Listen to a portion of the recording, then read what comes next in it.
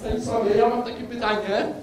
Yy, czy jakby Polska była normalnym krajem, jak to pan mówi poważnym, to czy jakby na przykład przyjechali ci wszyscy przedstawiciele yy, przemysłu Holokaustu i mówili o tych roszczeniach, to ci nie powinni zostać aresztowani pod zarzutem yy, przestępstwa kradzieży zuchwałej i szantażu?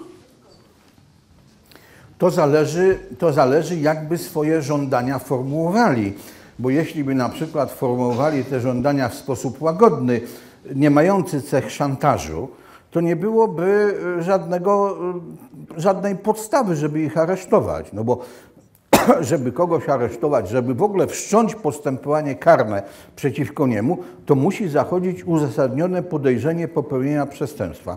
To tylko w przypadku pana Banasia nie ma takiego obowiązku, ale no to tam, jasne, jak trzeba, to trzeba. Jak to pisał Voltaire, kiedy Padyszachowi wiozą zboże, kapitan nie troszczy się o to, jakie wygody mają myszy na statku. Więc to tak jest.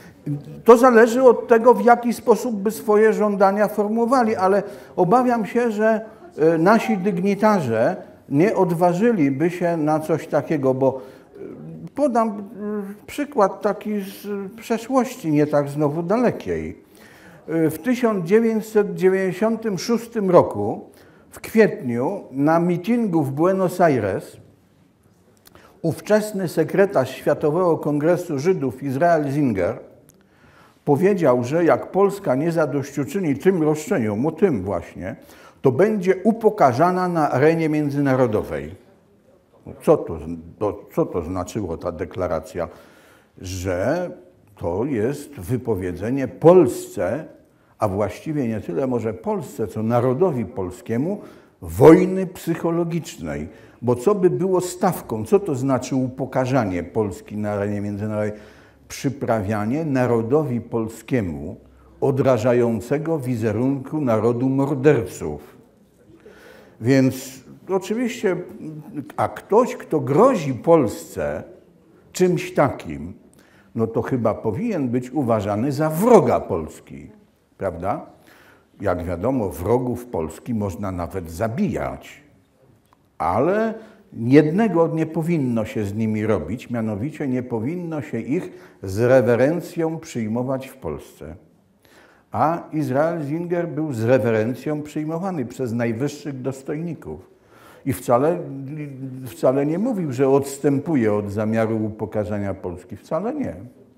W związku z tym obawiam się, że bardzo trudno by było znaleźć takiego dygnitarza, który by się odważył z czymś takim wystąpić. Tym bardziej, że pan prezydent Duda ostatnio dokonał odkrycia, że każdy Polak ma w sobie krople krwi żydowskiej. O skąd to wie, to ja nie wiem, ale jak tak mówi, to pewnie. Co prawda wolałbym, żeby każdy się wypowiadał w takich sprawach we własnym imieniu. To byłoby, no, to tak jak Aleksander Kwaśniewski na przykład twierdził, że nie ma duszy. I ja mu wierzę. No wystarczy na niego popatrzeć, a poza tym, któż takie rzeczy może wiedzieć lepiej od niego, prawda? No, prezydent Duda pewnie też wie coś, czego my nie musimy wiedzieć, ale wolałbym, żeby się wypowiadał w takich sprawach w własnym imieniu. Proszę bardzo. Czy PiS w najbliższym czasie planuje wprowadzenie podatku kastralnego? No tak mówi się o tym. Ja myślę, że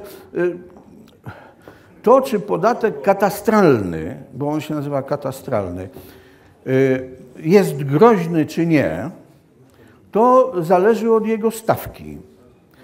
Jeżeli podatek katastralny będzie wyrażony w stawce procentowej, to ma charakter wywłaszczeniowy. Natomiast jeżeli w stawce promillowej, to nie. To, to nie jest niebezpieczne. Także o taka jest różnica. Taka jest różnica. No, policzmy. Proszę Państwa, emeryt zajmuje M3 ma M3, nie wiem jak tutaj, ale w Warszawie to jest mniej więcej 400-450 tysięcy. Cena rynkowa. No to powiedzmy dwuprocentowy podatek katastralny oznaczałby ponad 8 tysięcy rocznie tylko z tego tytułu. a przecież dochodowy jeszcze jest i tego. Jasne, że ten człowiek nie byłby w stanie tego zapłacić. W związku z tym z roku na rok narastałoby zadłużenie i wreszcie państwo by wzięło to za podatki zaległe i tyle. Dlatego mówię, że ma charakter wywłaszczeniowy. Natomiast jeżeli by to była stawka promilowa, powiedzmy 2 promille, no to 800 zł rocznie. To myślę, żeby jakoś tam, może by tam zgrzytał zębami, ale by był w stanie to jakoś zapłacić. I dlatego wszystko zależy od stawki. I teraz pani jeszcze, niech się pan nie gniewa, ale panie mają pierwszeństwo. To dobrze. Wspomniany y, przez pana doktor Jerzy Targalski mówił, że Serbia już płaci y, Żydom. No I cytował y, nazwę ustawy, zakon i tak dalej tam w języku serbskim. Jaki jest pana komentarz na ten temat? Czy słyszał pan o tym? On podawał również stawki, że część w nieruchomościach. Mój komentarz jest taki, że Serbia była bombardowana przez lotnictwo NATO. No tak. I to jest komentarz najkrótszy. Wielu ludzi tak mówi, że rząd powie, że nie zapłacimy. No, może tak będzie. To bardzo ładnie by się zachował, ale, ale byłem kiedyś y, w Stanach, w Denver, Colorado. I tam rozmawiałem z takim starszym panem, inżynierem górnictwa, który mi opowiadał, jak ta branża funkcjonuje w Stanach Zjednoczonych, nie tylko w Stanach, ale i poza granicami, mi prowadzą interesy na całym świecie. No i tam mi opowiada, opowiada, w pewnym momencie mówi tak, wie pan, niektóre rządy to nam podskakują. Jak nam za bardzo podskakują, to my je zmieniamy. No to właśnie tak to będzie. Taki finał. Serbowie już to wiedzą, bo byli zbombardowani przez lotnictwo NATO. No to już wiedzą, że tu nie można przeciągać struny. My jeszcze nie wiemy. Ale się dowiemy. Proszę bardzo. Dlaczego Japonia w ubiegłym roku, w latach 20., 30. zrobiła tak olbrzymi skok gospodarczy? Proszę Państwa, Japonia... I drugie takie małe Ja, pytanie. to, ale najpierw odpowiem na to. To. Japonia zrobiła olbrzymi skok gospodarczy nie w latach dwudziestych XX wieku, ani w 30., tylko w drugiej połowie wieku XIX. W drugiej połowie wieku XIX, bo w 1855 roku amerykański komandor Perry armatami wymusił na Japończykach otwarcie granic dla handlu. Japończycy to przyjęli jako wielkie upokorzenie swojego kraju i swojego narodu, ale jak to Japończycy zacisnęli zęby i tam postanowili sprostać tej sytuacji. Minęło 50 lat, dokładnie, równo 50 lat i Japonia jako państwo uprzemysłowione, 50 lat, bo była zacofana, tak no, w stanie średniowiecznym, dosłownie za shogunatu to tak to było. I jako państwo uprzemysłowione pokonała jedno z mocarstw europejskich, Rosję, w wojnie, tak zwanej wojnie japońskiej z 1905 roku. I to porażka dla Rosji była upokarzająca. No, rozgromiła Rosję Japonia. Rozgromiła Rosję. To I Stany Zjednoczone wyciągnęły z tego wniosek, bo w I wojnie światowej Japonia była po właściwej stronie, ale Stany Zjednoczone wyciągnęły wniosek z wojny japońskiej.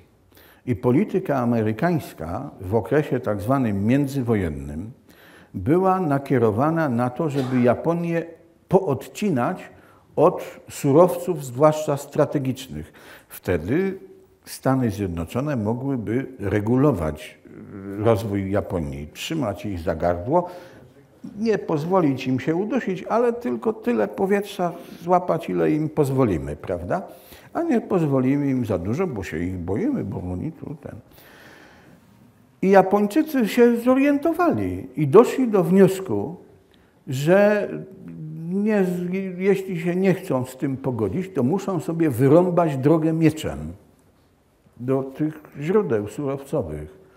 No i dlatego w Pearl Harbor zaatakowali flotę amerykańską, licząc na to, że jeżeli zniszczą amerykańską flotę Pacyfiku, to zanim Stany Zjednoczone ją odbudują, to Japonia już się usadowi i niech ją ktoś potem próbuje stamtąd wykurzyć. No, ale się nie udało, bo to wojnę to wiadomo tylko jak się zaczyna, a nigdy nie wiadomo jak się kończy. I skończyło się na tym, że Amerykanie zrzucili dwie bomby atomowe na Japonię i wojna się skończyła. Y, Więc to, no, Musieli i tak by się skończyło. no, pan lepiej zna Japonię niż ja, także ja się nie będę spierał, ale no, wydaje mi się, że jest pewien związek między zrzuceniem bomb atomowych a końcem wojny. W każdym razie wielu ludzi tak uważa. My też musimy kończyć. Ostatnie, ostatnie pytanie, panie Stanisławie, e, nieco retoryczne. Na kogo będzie pan głosował w najbliższych wyborach? Na, ka- na kandydata, proszę pana. Powiem tak, odpowiem na to pytanie tak, jak to y, w 1919 roku y, do Paryża zjechały delegacje różnych państw, żeby udział, wziąć udział w konferencji pokojowej w Wersalu. No ale wszyscy czekali na przybycie prezydenta Wilsona, bo nie zaczyna się bez gospodarza, prawda? I żeby sobie jakoś urozmaicić ten czas oczekiwania, to urządzali przyjęcia i się nawzajem zapraszali przyjęcia. No i Pol Polski Komitet też urządził przyjęcie, pozapraszał wszystkich tam takich ważniaków, między innymi greckiego premiera Venizelosa. No i w trakcie przyjęcia jakiś Polak w dobrym chmielu już zwrócił się do tego premiera Venizelosa z takim pytaniem, jak Polska powinna postąpić w sprawie kiedy walki o Rusie toczyły z Ukraińcami. Venizelos nie miał pojęcia, gdzie Polska leży, gdzie tam Rusi, Ukraińcy, ale uznał, że nie może swojego rozmówcy pozostawić bez odpowiedzi. Podpił palec gestem mentorski i powiada tak. W tej sprawie, jak zresztą w każdej innej, należy postępować zgodnie ze swoimi kardynalnymi zasadami. Dziękujemy bardzo.